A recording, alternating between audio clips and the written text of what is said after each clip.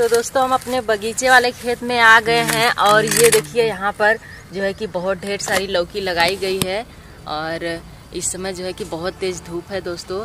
शाम हो जाता है, लेकिन धूप नहीं जाता है, धूप ऐसे ही रहता ही है। तो चलिए, यहाँ से हम देख कर लौकी को तोड़ लेते हैं। तो इधर देखिए, ये लौकी का छोटा छोटा बतिया है, इधर देखिए, तीन चार ठो बतिया लिया है और ये लौकी देखिए तैयार हो गया है। तो इसे हम जो है कि काट लेते हैं इस लौकी को। ये देखिए, ये काफ़ी नरम है और बहुत ही बढ़िया है। और हम लौकी की जो भी रेसिपी बनाएँगे तो हमें जो है कि इस तरह से नरम नरम लौकी की आवश्यकता जो है कि है तो हम इसे ले लेते हैं और देखते हैं और भी लौकी। एक देखिए, यहाँ पर है।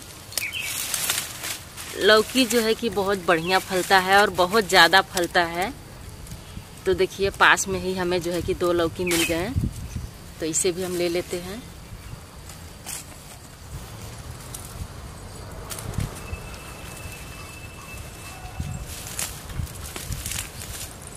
लौकी नीचे फला रहता है तो इस तरह से जो है कि पत्ते हटा हटा कर हमें देखना पड़ता है, क्योंकि ये पत्ते के नीचे जो है कि छुपा रहता है। तो ये देखिए, यहाँ पर लौकी है। ये देखिए, इसे हम तोड़ लेते हैं।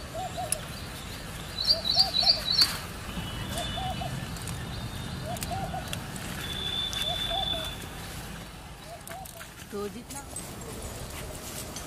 तो ये देखिए दोस्तों, हम अपने खेतों से ज़रूरत के हिसाब से लौकी को ले लिए हैं। अब चलिए इस लौकी को लेकर चलते हैं नल के पास। इसे अच्छे से धुल कर साफ़ करते हैं। इसके बाद इसे हम बनाएँगे।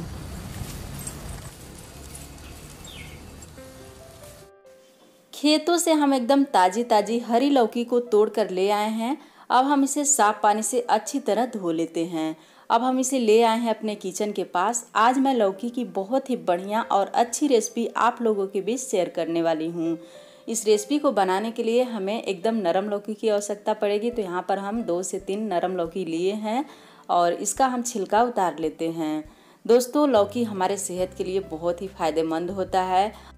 और हम लोगों को लौकी ज़रूर खाना चाहिए। कुछ लोग ऐसे होते हैं जो कि लौकी खाना नहीं पसंद करते हैं।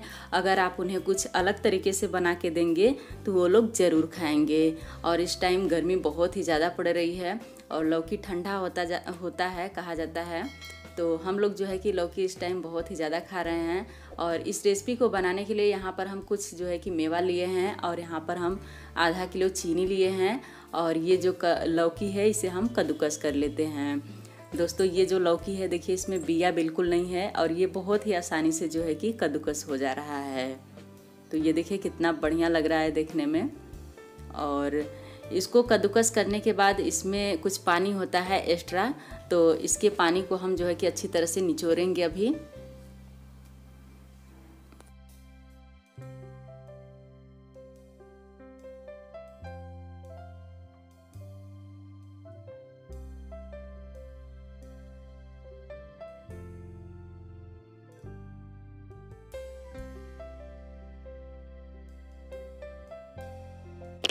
लौकी में जो भी एक्स्ट्रा पानी था, इसे हम अच्छी तरह से निचोड़ दिए हैं।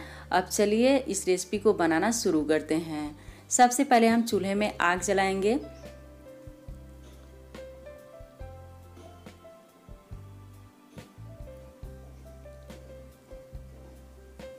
आग को जला दिए हैं। अब चूल्हे पर रखते हैं कढ़ाई और कढ़ाई को हल्का सा पोछ देते हैं और इस कढ़ाई में डालेंगे देसी घी। यहाँ पर हम पतंजलि का देसी घी लिए हैं। घी को अच्छी तरह से गर्म होने देते हैं।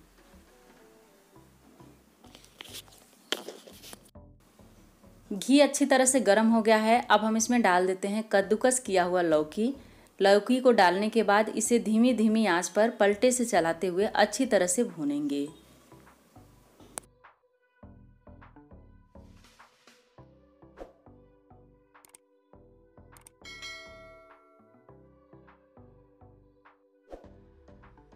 लौकी को हम कुछ देर तक ऐसे ही खुले हुए भुने हैं। अब चलिए इसे नरम होने के लिए थाली से ढक देते हैं। अब इसे धीमी धीमी आँच पर ऐसे ही नरम होने देते हैं और यहाँ पर देखिए दोस्तों, हम जो मखाना लिए हैं, इसे छोटे छोटे पीस में कट कर लेते हैं। और ये जो बड़ा वाला बादाम है, इसे भी हम दो से तीन भाग कर देते हैं। और यहाँ पर देखिए लौकी अच्छी तरह से नरम हो गया है और देखिए अच्छी तरह से ये जो है कि पक भी गया है।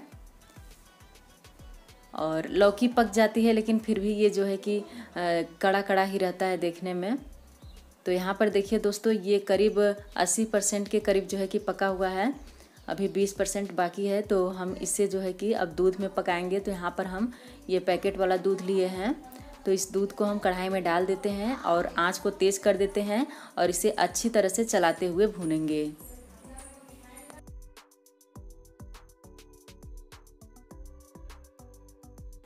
दूध को डालने के बाद इसे हम पलटे से बराबर चलाते रहेंगे, नहीं तो ये तली में चिपक भी सकता है। तो यहाँ पर देखिए दोस्तों धीरे धीरे दूध गाढ़ी होने लगी है। अब हम इसमें डाल देंगे चीनी। यहाँ पर हम आधा किलो के करीब चीनी लिए हैं। सभी चीनी को डाल देते हैं। और हाँ दोस्तों, अभी तक मैं आप लोगों को बताई नहीं कि आज मैं इस लौकी की कौन सी रेसिपी बनाने जा रही हूँ तो चलिए बता ही देती हूँ। अब तो आप लोग समझ ही गए होंगे कि मैं कौन सी रेसिपी बनाने जा रही हूँ।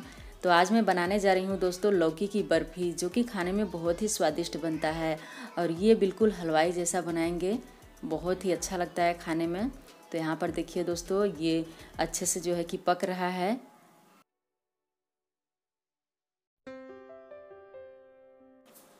ये देखिए दोस्तों, अब धीरे धीरे दूध गाढ़ा होने लगा है और चीनी भी अच्छी तरह से गल गया है। तो अब बहुत ही जल्द ये लौकी का बर्फ़ी हमारा बनकर तैयार होने वाला है। तो इसमें हम थोड़ा सा फ्रूट कलर डाल रहे हैं। ये ग्रीन कलर का है। लौकी ग्रीन कलर की होती है तो मैं ग्रीन कलर डाल रही हूँ। आप कोई भी कलर डाल सकते हैं और कलर को स्किप भी कर सकते हैं। मैं तो बस सुंदर दिखने के लिए जो है कि इसमें डाल रही हूँ कलर। तो यहाँ पर देखिए दोस्तों, ये बहुत ही अच्छा लग रहा है। एकदम ग्रीन कलर की हो गई है। ये लौकी की बर्फ़ी। तो ये देखिए, यहाँ पर हम जो मेवा लिए हैं, इन सभी को डाल देते हैं और इसे जो है कि धीमी धीमी आँच पर चलाते हुए भूनेंगे। अगर दोस्तों आप लौकी का हलवा बनाना चाहते हैं तो बिल्कुल इसी तरह से जो है कि बनता है लौकी का हलवा भी।